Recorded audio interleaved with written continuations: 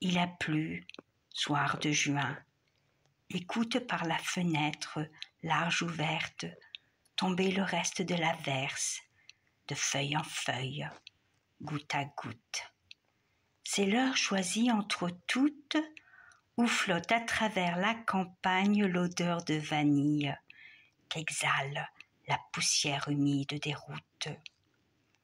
L'hirondelle joyeuse jase. Le soleil déclinant se croise avec la nuit sur les collines.